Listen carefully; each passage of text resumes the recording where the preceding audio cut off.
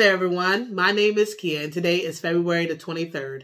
It's so great that you're able to join me for today's verse of the day. There's no better way than to start each day than in God's Word. So, my hope is to better equip each viewer to live authentically for God by expounding and applying Scripture to our lives. If you haven't already, please like and subscribe to this channel. Hit that bell notification so you won't miss any new content that's released. Now, before we get started, let's pray to the Lord. Dear Heavenly Father, we thank you in Jesus' name for waking us up and allowing us to see another day. You are great, Father God, and you are greatly to be praised. We magnify you in our lives and we exalt you upon this earth, Lord, because you alone are God. Thank you for giving us this daily bread today. Lord, may we get into your word and your word be inside of us, Father God, that we may grow in the grace and knowledge of your Son, Jesus Christ. So we ask your Spirit to reveal your truth in us. Lord, and, and give us strength and help us, Lord, to apply your word to our lives. And Father God, we thank you. And when you do these things, we'll be mindful to give you praise, honor, and glory forever. It's in Jesus' name we pray. Amen. Amen. So today's verse of the day is found in 2 Timothy chapter 4, verse 7. I have fought the good fight. I have finished the race. I have kept the faith. Okay, so these are some parting words of the Apostle Paul to young Timothy. Um, we read in um, the first book, uh, first letter, so to speak, that Paul wrote to Timothy, um, instructing him to basically uh, get in place, get in place uh, people um, who are true, you know, godly people uh, in place for the church. Encouraged him to be bold, um, to not use, to not cower down um, in the midst of other people just because he's a young pastor.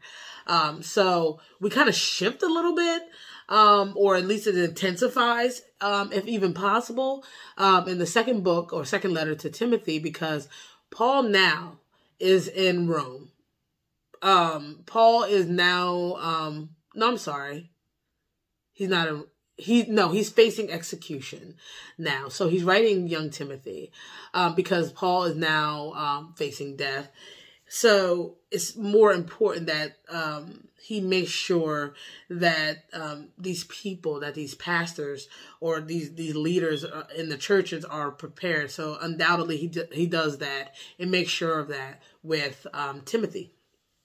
So his parting one of his parting words is what I absolutely love and adore, and something I really take personal in my walk with the Lord is actually today's verses of the day. Um, and it says, I have fought the good fight. I have finished the race. I have kept the faith. The reason why I take it very personally, and I hope that you do too, is because we're all going to reach a, an end point to our lives in this physical. Um, we might not have that deathbed um, confession. We might not have that deathbed uh, moment where we can um, do all these things, but we all do reach that end point of our lives. And when we all do inevitably reach that end point of our lives, especially as Christ followers, these words I want to echo, whether out of my mouth or in my spirit, that I have fought the good fight. I have finished the race and I have kept the faith.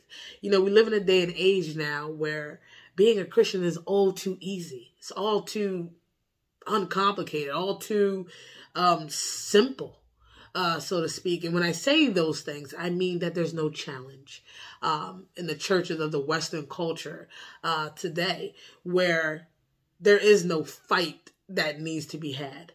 Um, there's no race really um, to to partake in, um, and there's no faith to really have.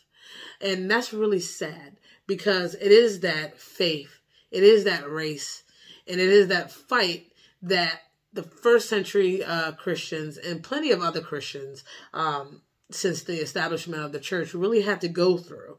Um, and I and I'm concerned about the state of the church today because I know for me, um, and also my friend, and actually uh, a lot of my family members too, um, this walk with the Lord is not easy. It's not easy. And despite a lot of what some of these prosperity word of faith preachers teach nowadays, this is not a cakewalk. This is not easy. Those Christians in the first century were persecuted and, and, and died, were murdered for their faith in Jesus Christ. They overcame so much just so we can hear the gospel message, just so they can be obedient to God and His will. And here we have in today's church and society that that same passion is not replicated at all or very seldom is. So when I reach the end of my life, I want to be able to say that I have fought the good fight, that I persevered through everything by the strength and grace of God. I want to be able to say that I have finished the race. I've done every single thing that God has required me to do on this earth even if it was difficult. And I want to be able to say that I have kept the faith, even when everybody around me walked away from God or walked away from me for loving God. This is what I want to be able to say for myself when I face that inevitable time. I want to say it today. I wouldn't be able to say it today. This is my goal, and I hope it becomes your goal. Brothers and sisters, this walk is not easy. Okay. If you're not in some way fighting or, racing or struggling to keep faith or, or, or just struggling to just, you know, continue to stay hopeful, I question. I question. Okay, the, I just question the doctrine and the and the commitment, um, and I hate to say that because it's really none of my business, but it is okay? Because it's my hope and desire that no one has a false conversion or or or spends their entire life serving a god that doesn't exist. Practicing theology that is wrong or or going to church in in, in lieu of of having a relationship with Jesus Christ so I say that because of that conviction. And I hope those who are truly in Jesus Christ will share in that passion that Paul expressed to Timothy um, when he was going on to be with the Lord and being absent from the body, that we finish our race and that we keep our faith in Jesus Christ no matter what and fight the good fight. Brothers and sisters, Share below your comments on today's verse of the day. I am very anxious to hear what you have to say. And as always, thank you so much for tuning in for today's verse of the day. I hope and pray you come back tomorrow for more. And until then, may God bless you. Have a beautiful and a wonderful day. Bye.